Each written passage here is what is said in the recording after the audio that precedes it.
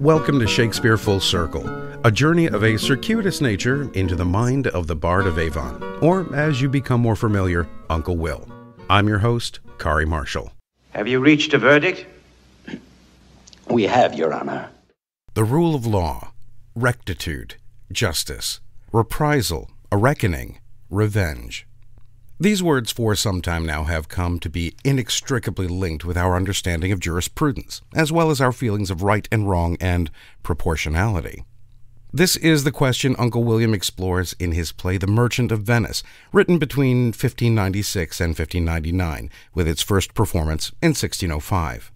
It tells the story of Antonio, a merchant suffering from a common social ailment of the time, anti Semitism, who takes a loan from the Jew Shylock to help his friend court our female protagonist, Portia.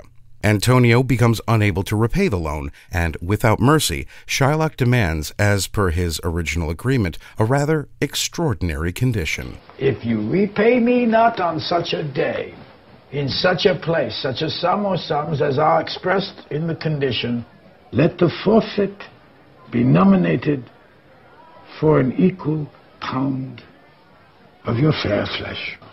Antonio frankly doesn't even consider that Shylock would be in earnest and proceeds to agree to the extreme requirement. When the loan comes due, however, Antonio finds himself unable to repay Shylock, and Portia, now the wife of Antonio's friend, dresses as a lawyer Balthazar I mean, what would a Shakespeare play be without a bit of dress up?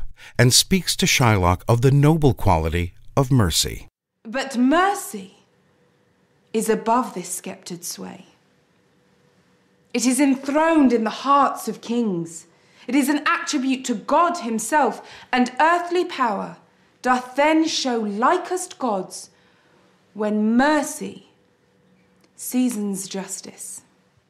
Shylock remains unmoved, and even though he is offered twice the sum of Antonio's debt, the lender demands that the terms of the deal be strictly adhered to.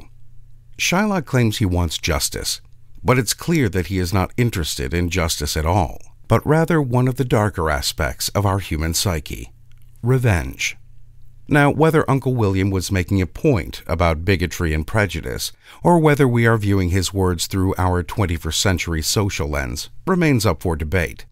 What is clear, though, from the story is that our moneylender has been inundated with anti Semitic prejudice all his life, even referring to scathing comments by Antonio himself. In many ways, his extraordinary demands of the non fulfillment of the contract seem to be a sort of built in recompense for how Shylock himself has been treated. He hath disgraced me and hindered me half a million, laughed at my losses, mocked at my gains, scorned my nation, thwarted my bargains, cooled my friends, heated mine enemies, and what's his reason? I am a Jew! As we move forward through time, Shylock's pound of flesh has become freed from the specific instance of the play, and has come to mean a rather overtly extreme, if not spiteful, condition placed upon a person, heard in arguments made around the kitchen table to the inside of the White House briefing room. This is how it works. This is what a bill looks like when you have 60 votes in the Senate, when the Democrats get a chance to take their pound of flesh in order to defend the nation. In the play, Antonio's death is only prevented as Portia, as Balthazar, explains the bond is for the flesh, but not for a single drop of blood.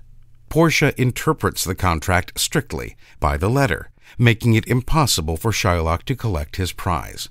To put it another way, to coin another phrase, the devil, so it seems, was actually in the details. Well, alas and alack, my friends, that's all we have time for. Join us again next time for another circuitous journey into the mind of Uncle William. I'm Kari Marshall. Farewell until next time. Today's clips were from Michael Radford's 2004 film adaptation starring Al Pacino, Jeremy Irons, and Lynn Collins.